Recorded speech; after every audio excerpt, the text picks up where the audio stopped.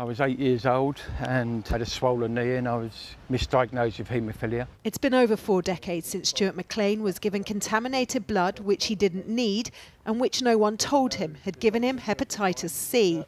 When he finally found out a few years ago, it nearly killed him. I just thought Hep C, everywhere I looked online, it went to the worst possible scenario. Lost my career with depression, lost everything basically. Um, nearly lost my life. I stood at Motorway Bridge to, to end it all. A passing neighbour dissuaded him, but Stuart is one of up to 30,000 people given contaminated blood by the NHS, and thousands have since died. Giving evidence, this former Prime Minister drew gasps of disbelief by suggesting misfortune played a part. There's no amount of compensation you can give that could actually compensate for what had happened to them. What had happened to them was incredibly bad luck, uh, awful.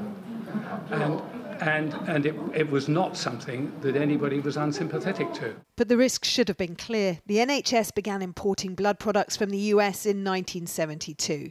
Just two years later came the first warnings of contamination and hepatitis. By 1983, the UK government had been told AIDS was being spread through them, but it was 1991 before American blood products stopped being used. For Stuart, bad luck doesn't begin to cover it. And he calls that bad luck, knowing that our government brought them products from America? That's not bad luck, that's irresponsible. Mark Ward was given the same blood products as a child with haemophilia.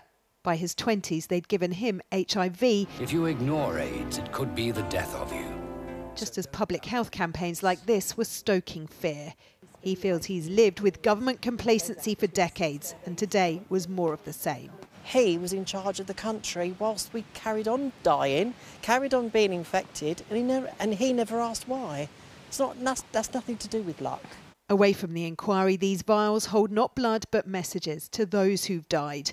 A reminder that whatever the outcome, for too many, it will be too late. Rachel Younger, ITV News.